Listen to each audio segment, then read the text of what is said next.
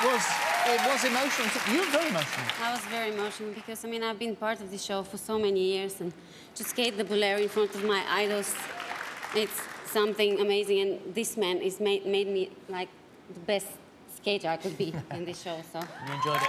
I loved it, yeah. Um, as I say, it was the one that we thought of together and we took all of our amazing choreography from Chris and Jay and put it all into the one one. So uh, I loved it. Thank you very much for the honour of being able to skate the Bolero. And the last ever skate. That's never skate. That was it. It was an amazing one, though, wasn't it? Yeah, it I'm going was. to a- say he's it a was skater beauty. skater. That's what he is.